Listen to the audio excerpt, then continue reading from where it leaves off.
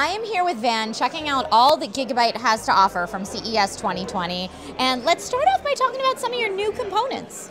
Yeah, so we have a ton of new products I'm excited to show you. Some of the top ones include this Aorus AO liquid cooler. Uh, we just recently launched that and it's been generating a lot of buzz. Um, our claim to fame is that this liquid cooler has a complete customizable LCD display. You can do a ton of crazy stuff with this, like put custom animations. You can monitor your temperatures. You can have uh, core clock speeds readouts. So it's a Nice. really customizable and really powerful liquid cooler.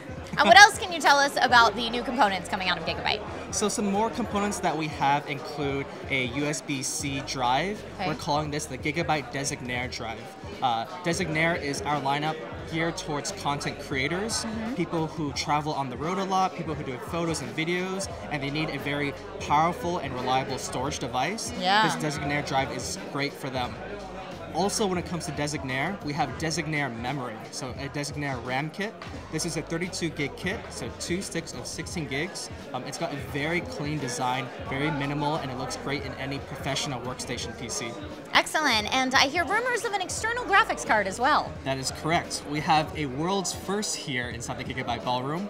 This is the Aorus RTX 2080 Ti gaming box. It's a liquid cooled external graphics card Love it. You can plug it into any Thunderbolt 3 equipped device, Awesome. and then it's going to be powering a 2080 Ti GPU uh, from it. So it's really high-end stuff.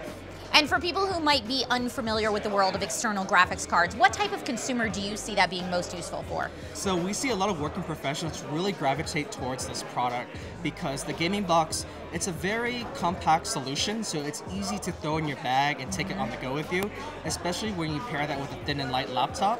You have these two things, you plug it together, you get the horsepower of a full desktop. Yeah. So it's really, really convenient for those traveling professionals.